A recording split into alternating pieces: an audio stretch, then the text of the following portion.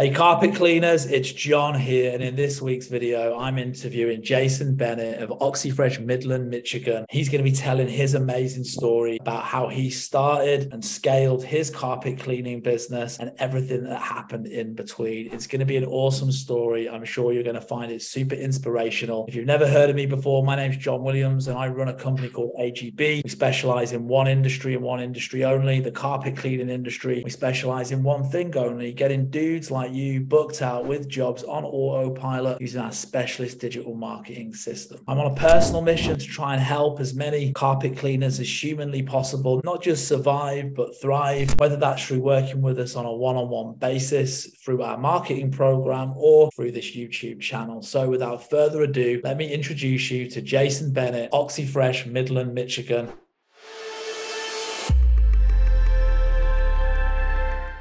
I just want to backtrack a little bit though. Before you signed up with like Oxi Fresh, I think you mentioned at the start of the call that you had another business. Am I correct in thinking that? Yeah. So I'm a, a serial entrepreneur. Tell me, I want to know about the things that you did prior to owning an Oxi Fresh franchise. Tell me about your entrepreneurial journey up to that point. That's really fascinating to me. What was the first business that you did? What year was it? What was it that you did? Did it fail? Have you still got it going? What did you do next? So on and so forth. I want to hear the Jason Bennet story fully. Tell me about what you did before Oxi Fresh. Prior to 2021, I worked a nine to five job like everybody else, right? So mm-hmm. I had been in sales and service. I had worked for a major home improvement retailer, was a manager. They had done some structural changes. So I lost my position as a manager. I was completing my MBA at the time. And as I looked around, I'm like, all right, well, I need a job. So a paint company had a outside sales position for the home improvement retailer that I was leaving. They basically hired hired me on the spot because here's a guy who's coming as a manager out of that with all this inside knowledge. So I did that for about four and a half years, right? Wasn't super passionate about it. The money was okay. The benefits were good, allowed me flexibility and being able to do different things with my family. But I sat down in the year that I won a President's Award for sales that year,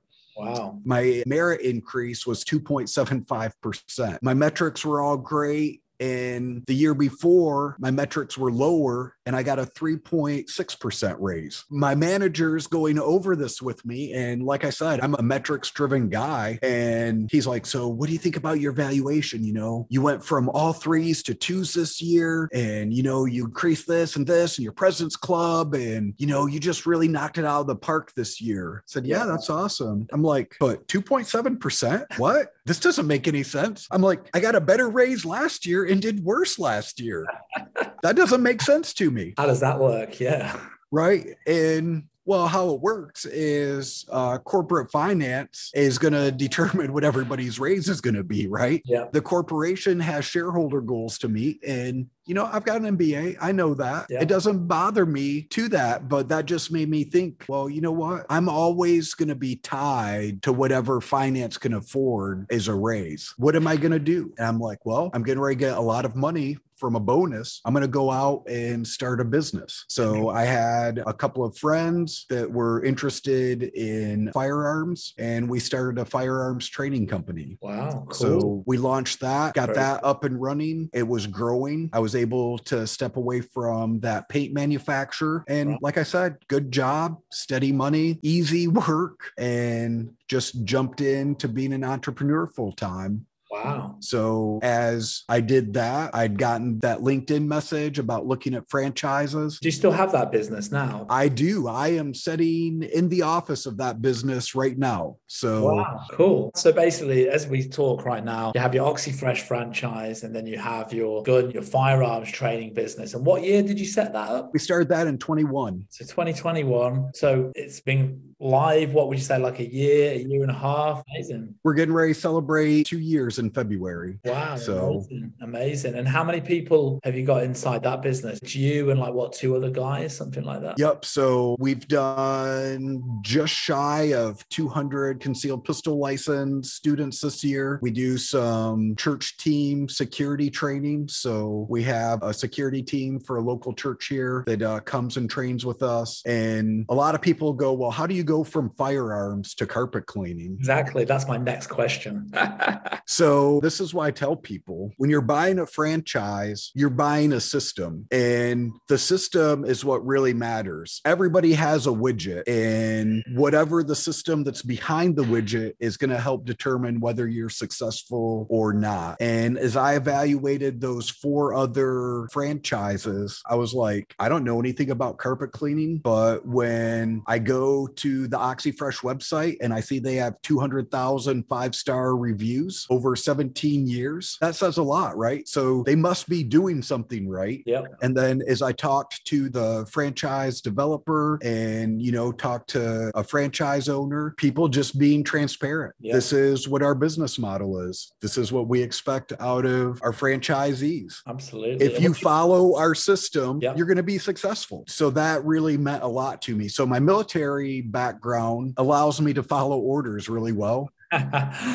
I'm like, you know when when we were doing our initial setup i ended every video call with all right what should i be focusing on? What do you think i'm not focusing on that i should be? And what are my next steps? And i just make a list and go down that list right? Check those things off. Next call exact same thing. What do i need to be doing to be successful? How am i going to get to that next step and with the growth that I've seen with AGB, I will probably be adding another tech, probably March timeframe. I've just been so blessed in all of this. And when you're brand new or you've been struggling, marketing is the key to that. And I've had people in contact with me that are like, well, I can't afford to spend money on marketing. You can't afford not to spend money on marketing Absolutely. It's a given. it is that catch 22 right you know where Yeah. do i come up with the money to spend on marketing? You got to find it. You probably have it. You're just not willing to part with it. Absolutely. and then finding a good partner in how to spend those dollars wisely. When i opened up in august i threw a bunch of money in a bunch of different ways in marketing right? Trying to figure out one i don't have any franchises within about two hours around me. So this is a lot of people's first experience with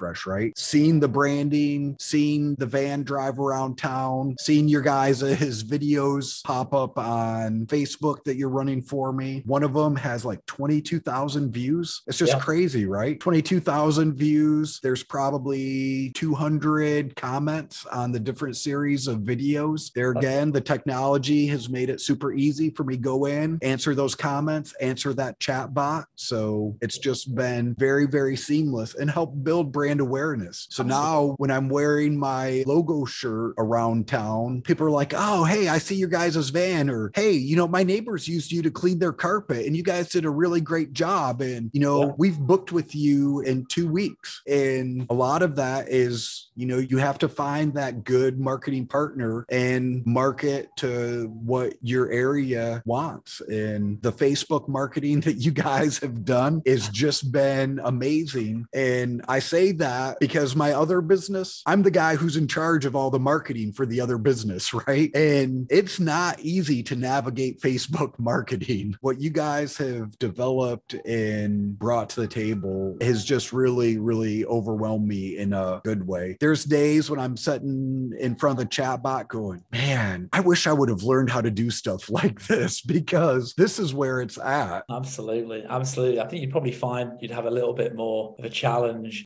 leveraging Facebook for things like firearms. I think it goes against their policy and stuff like that. But yeah, it does You made some really strong points there. Yeah, I think one of the key traits of like an entrepreneur, a successful one, is the willingness to invest in themselves and their business to move the needle forward and the willingness to take risks. Because ultimately, it's like the classic saying, you know, you need to spend money to make money, right? That's Yep. basically the classic saying. And it's so true, you know. And ultimately, we live in a world now where people need to know that you exist. And these platforms like Facebook, like the TV, like radio, like the flyers that come through the door, you know, you have to pay for all these things. And if you don't, then no one's going to know that you exist. So it's a necessary thing that all businesses need to do. It doesn't matter what kind of business it is, you need to advertise. And here's the other really interesting thing is that, like everything, there's going to be ups and downs of your marketing. Like there's going to be busier times, there's going to be quieter times. And it's all about understanding that, you know, even when it's slow, don't pull the plug because if you pull the plug, then you're definitely not going to get any jobs. You yep. still need to be in the game, even when things like slow down. Like you should never pull the plug. You still need to keep going. And it's about riding out those waves, those times when it's a bit slower, having the systems in place to make sure that you have a pool of repeat business that you can tap into when the new customer acquisition slows down a little bit and then you know enjoying those peaks when things pick up. But it is a roller coaster and it is a challenge and you do need to invest in yourself. And those are the key things that make an entrepreneur successful. And it's obvious that you have those traits. You've got one successful business and you've just launched this one. It's a few months old and you're already crushing it and you've navigated it. If you are watching this if you do own a floor cleaning business if you would like more jobs if you want to get booked out on autopilot if you would like to find out a little bit more about working with us. Head down to the description below where you'll find a link to schedule a call with us. We'll run you through how everything works. We'll get you signed up and we'll change your life for the better. We'll change your business for the better. And on that note see you on the next one guys.